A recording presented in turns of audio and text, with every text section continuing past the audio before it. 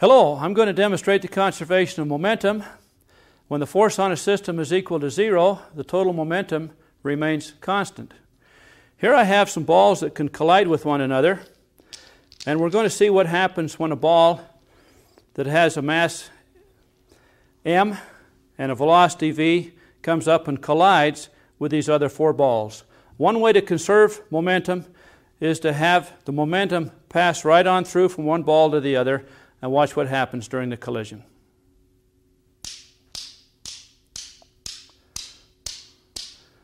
We see that the momentum that was initially in the first ball flows through the system and comes out as momentum in the last ball, showing that the total momentum of the system is conserved when the force in the horizontal direction is equal to zero. Now, if I have a mass of 2m, we can also conserve momentum in a similar way by having a series of collisions take place, but the net result will be that the total momentum will remain constant. Here we see that if we have a mass of 2m and a velocity v, we have a mass of 2m over here with the same velocity uh, after the collision. Now, another way to illustrate that is to have a mass of 3m.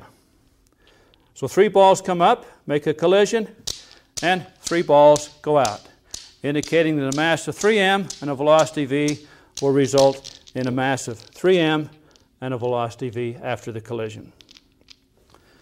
Now, here's a little puzzle for you.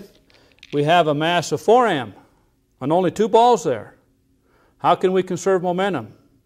Four balls come up and four balls go out.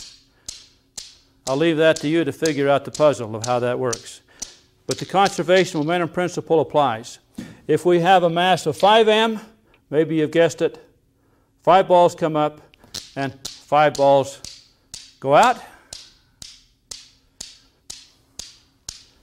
And if we have a mass of 6m, six balls come up and six balls go out. Conservation of momentum.